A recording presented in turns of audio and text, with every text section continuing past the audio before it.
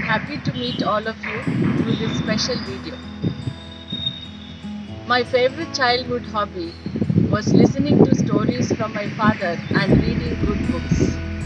As I sincerely believe our identities are shaped by what we read and what we learn from history. Reading creates great habits.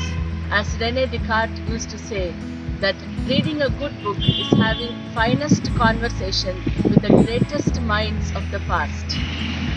The story that I read recently, which inspired me, like my history books, was not about Rani Jhansi Bai or about Annie Besant, was about a Delhi cop, a female cop who worked at Samaipur Badli station.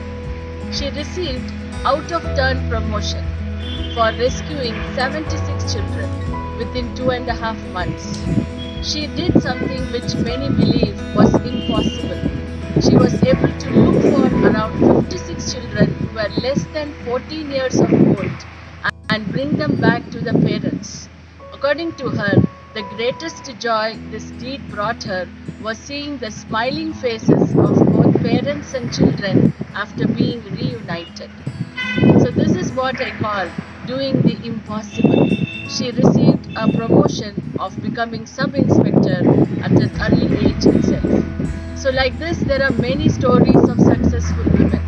So, my message to all the girl children out there is think the impossible because nothing is impossible.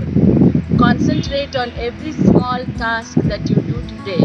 At the end of the road, with the blessing of God, you might have achieved greater milestone. So focus on reading and building your self-confidence to bring joy to your family,